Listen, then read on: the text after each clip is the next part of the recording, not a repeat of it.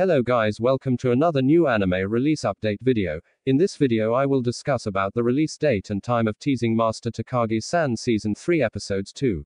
Teasing Master Takagi-san Season 3 Episodes 2 will be releasing on the 14th of January which is Friday in the next week. It will release in Saturday for few countries because of the timing zone. Now I'm going to play the raw version release time of Teasing Master Takagi-san Season 3 Episodes 2. If your country went missing from this list, then please let me know in comment section, I will try to reply your country's time zone. So guys thank you for watching this video, bye bye and take care.